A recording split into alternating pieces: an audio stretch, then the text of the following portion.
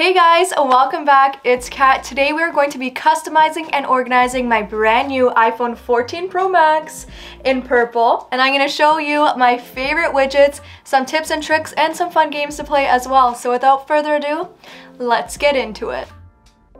Alright, here are some settings you're going to want to change. In settings, go to sound and haptics and then click on keyboard feedback and you can actually turn on haptic feedback now. You can also add a quick note to your control center. I use notes all the time, so this is very useful. And this is me just testing out the haptic feedback. I love using it. What do you guys think?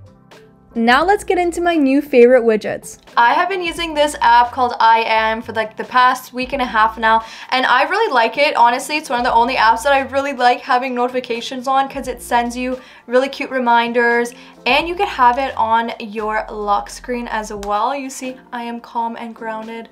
It is so cute. I also have it on my Apple Watch. So I get the notifications and then it tells me a motivational quote. It's so cute. Alright, here we go to my widgets folder. This one is called Motivation Daily, and I've been really, really liking these self-help, motivational widgets and apps, so I definitely check it out if I were you.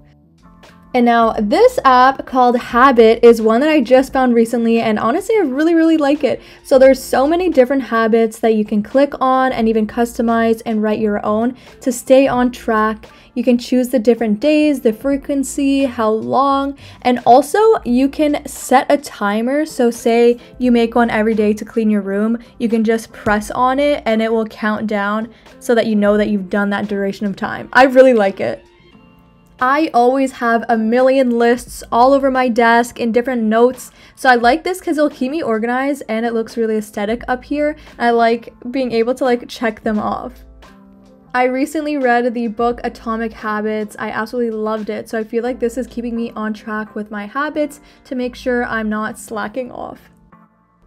Now, if you watched any of my other customization videos, you've definitely seen color widgets. I love using this app as well. There's so many different options and they even have an option for icons so you can customize your entire phone aesthetic just by using this app.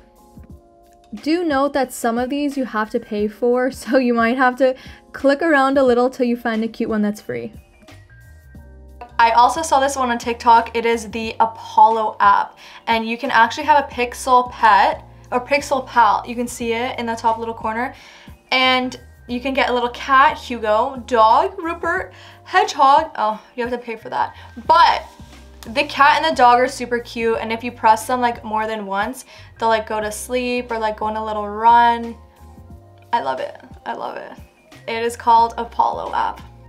I've gotten so many questions about how I have these super cute shape and heart emojis on my lock screen and it is from this app called Top Widgets. There are so many different options. As you can see, I'm just clicking through.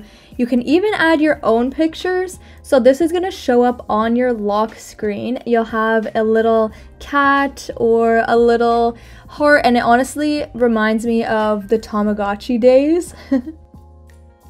So now I'm just gonna continue to look through and find my favorite ones and save them. So later when I show you guys how to add it to your lock screen, it'll be there and super easy. Alright, now as always, I headed over to Pinterest and I'm finding some really nice wallpapers. Today I just searched like Tamagotchi aesthetic, but I really liked this one. I feel like this will be good for my nighttime focus mode. Let me show you how I do it.